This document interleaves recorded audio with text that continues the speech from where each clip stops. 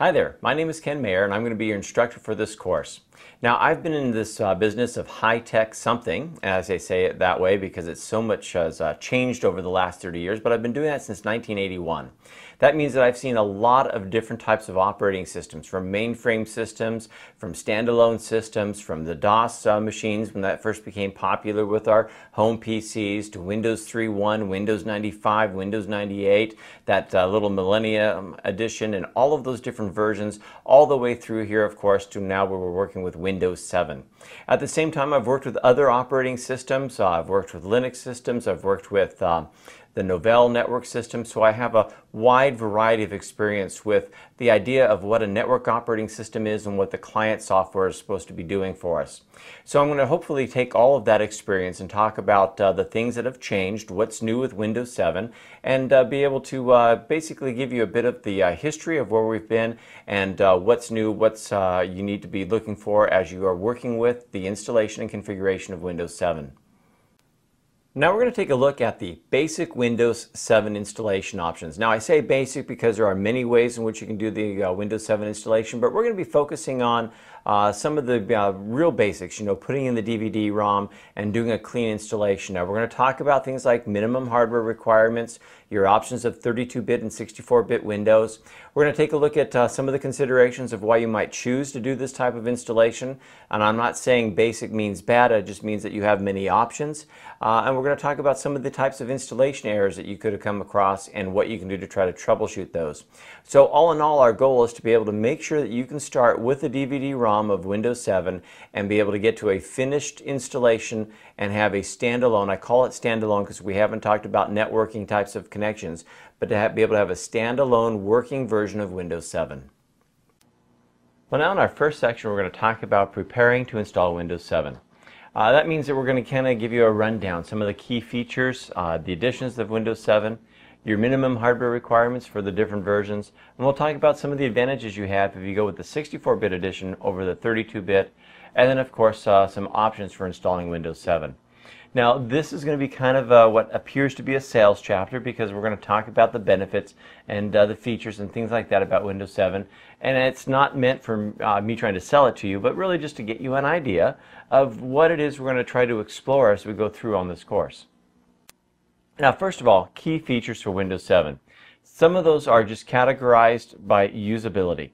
Now, usability, boy, I, I don't know where to go with that just thinking about the desktop and all the changes to the desktop and pinning things to the taskbar, and being able to shake forms and, and uh, all these new search capabilities to create libraries that are searchable and indexed, to have these federation types of searches where I can actually have a search that goes out and looks at other shares and other locations. Great things in the world of uh, usability. As far as security goes, we see a huge change in security. We have uh, things like BitLocker to encrypt the drive and the operating system. We have the ability to utilize multi-factor authentication, and it just continues to go on from there. You have uh, Windows Defender that has uh, been, of course, much improved since Windows Vista. You have the UAC control to be able to keep uh, people from installing uh, malware and those types of things that they might not otherwise have known were being uh, installed in the background a multi-tiered data protection through rights management, uh, app locker again, BitLocker, encrypted file systems, uh, and it just goes on and on and on with all of these cool things that we can do. Uh, even including the, the improvements to the uh, Windows firewall with advanced features and the use of IPsec for direct access or for secure communications. With reliability and performance, we see that applications can run better and faster and can recover from uh, a deadlock situation. That we have better tools to be able to look at how it's working, how it's running. Uh, through scripting capabilities, we can uh, have uh, our administrators actually make uh, their own customized tools to be able to help in uh, analyzing what's wrong with an application or how to better fine-tune the, the environment deployment options through uh, the uh, WIM and the image distribution makes it easy to deploy hundreds and hundreds of these uh, uh, Windows 7 workstations in a simple day, or a single day I should say, to make it very simple to be able to put it together. Manageability, productivity, all of these have key features that have made big improvements in Windows 7 and uh, and it's, it's, it really is it's exciting. I have to say, and and, and because you know I, people who know me realize what I'm about to say is true. I was not at first the biggest fan of Windows Vista.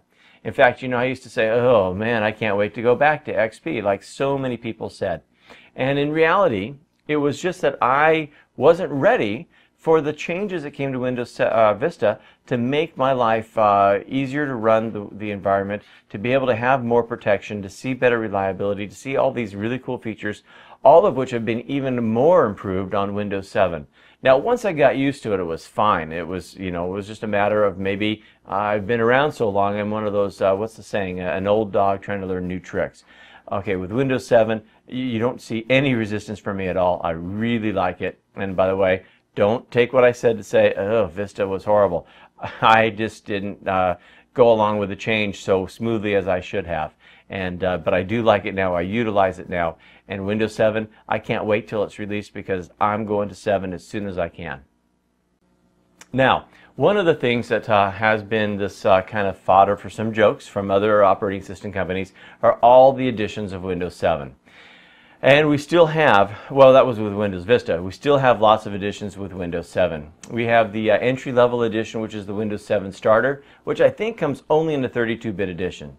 You have the Value Edition, which means, of course, again, we're talking about are there features that you do or don't need? And if you don't need the features, like some of the high-end business-focused uh, types of applications or, or options, then why do you want to pay for them? And, and so it, to me, it's reasonable to have these different editions. We see this, by the way, in every other vendor that you go out there. If you, uh, if you go buy a Cisco router, they have multiple versions. In fact, they make uh, what I'm talking about with, with Microsoft look like a walk in the park. You know, they may have up to a hundred different versions of an operating system for the same router, depending on what you need it to do and what you want it to do, and you're paying for what you need and, and not having to go pay for all these other, features that you never use. So uh, this is a very common, very normal type of thing in this environment, and I like that we are going to get a, a version that does what we need, and uh, we're not paying for stuff that's extra that we'll never use. So they got the Home Basic, they call that the Value Edition. They have the uh, Windows 7 Home Premium, your standard consumer edition. In Windows 7 Professional, they'll give you a business-focused edition for small to lower mid-markets. You have the Windows 7 Enterprise, which again, as it talks about, is focusing for large enterprises, which would be those that have maybe 500 workstations or more. And then, of course, if you just want everything that's under the hood in Windows 7, you get the Windows 7 Ultimate. All right, so hardware requirements. Now, depending on the version of the hardware requirements, uh, and these, by the way, you can read off of any, uh, uh, right off the box if you need to. But if you're looking at the hardware requirements, I'm just going to kind of give you a rough summary from the low end of, uh, of Windows 7 to the high end. And, and it's going to be difficult it's going to be difficult for you to find a PC that does not come around and meet these minimum uh, requirements. In fact, you'd have to go probably to a used PC site and uh, find one uh, that's uh, years old to be able to go down so low in hardware that you can't run Windows 7. The issue you have to be careful though in what I'm trying to say as a joke is that you can't go too old anyway because you need to make sure you have updated driver support. So memory, anywhere from a minimum of half a gig to a gig minimum requirement. That doesn't mean you should stop there. Certainly add more in there if you can. The CPU, uh, anywhere from the 800 megahertz to a gigahertz uh, range of uh, processing power. Uh, the graphical card to be able to support uh, uh, DirectX 9, SVGA, but if you go to the high end where you have the Aero types of needs, then you're going to have to make sure you have a graphics card that can support, that is listed as Aero capable. Hard drive, anywhere from 20 to 40 gigabytes of storage available for uh, the installation and for use of this operating system. The um, uh, optical drive support, CD-ROMs, DVD-ROMs, all of those, of course, also available for you as well. So it's really, what I've just said sounds like, again, if, if, you, if you told me that I needed a gigabit of RAM, a gigahertz processor, a 40 gig hard drive, a DVD-ROM drive, and I said, well, that's easy. I could go and get that as scrap material and put it together very simply. So the hardware requirements are not that stringent for Windows 7. But what I did say uh, in, in uh, talking about this, and that is important, is that you make sure that you have drivers that can support some of this older uh, types of hardware. As an example, and, and this is a credit now to Hewlett-Packard, I have an old HP 1000 uh, laser printer, and I've had that thing for probably close to 10 years. and um, I'm running Windows Vista. I told you I, I, I like Vista. I'm running with Vista, and the thing doesn't have a driver, and Hewlett Packard hasn't doesn't have a driver to make it work. I had to kind of tweak and twist and do some stuff with the XP drivers to make it work with uh, with my Vista, eh, but I still lost network sharing capability with that printer. And I know you're all telling me, hey, Ken, just break out the crowbar to your wallet, get a new printer. They're, uh, they're I mean, dirt cheap. And I did. I went out to a, a local uh, electronics store and I bought a brand new laser printer for 50 bucks. Uh, that out exceeds whatever I was doing with my uh, HP 1000, but that HP 1000 still runs, and it's like I just can't give it up. So maybe it'll be in the museum somewhere. But that's the point the older stuff, as much as I'm joking about it and saying it's easy to meet these requirements, the old stuff may not have driver support. So that's something else you want to consider when we're talking about hardware requirements. A little out of scope for this particular uh, point in which we're talking about the actual PC, but make sure your peripherals also have the drivers for Windows Vista. And remember that Windows 7 is still on the horizon. It's not officially released as I'm talking to you. Uh, but most of the drivers from Vista to 7 will still work for you just fine, but always now make sure that you have the right drivers to support whatever you're working with in the hardware. Now, you have two editions, a 64-bit edition and a 32-bit edition. You want to take advantage of the 64-bit processors and use the 64-bit edition of uh, Windows Vista. So what are you going to do? You're going to get improved performance. I mean, if you think about it, if I have a 64-bit processor and I'm just running a little 32-bit uh, operating system on there, it's the operating system that's kind of the choke point now because it has its own built-in limitations of a 32-bit um, uh, OS. So utilize the better performance and with the 64-bit option, you can have more addressable memory uh, that's available to you. Certainly better device support, much improved security. The downside, and I hate to tell you this, you're going to lose the 16-bit WOW. Now, if you're not sure what I mean by WOW, that was called the Windows on Windows. It was a virtual machine to be able to uh, basically um, have a 16-bit DOS-based operating system programs running on top of Windows. So if you've got an old DOS-based program that you just absolutely have to run, maybe some old game, you can't do it in the 64 bits um, uh, uh, processor, the 64-bit version of the operating system. So what do you do? You go to Windows Virtualization, you install some old antiquated uh, operating system, and then you can run your stuff there. Also, you uh, the WIM files can only have either 32-bit or 64-bit images. You can't have both. Now, as far as the options for doing the installations, this is not changed at all from any type of installation. You can do a clean installation, which means whatever else was on that operating or on that workstation is going to be gone.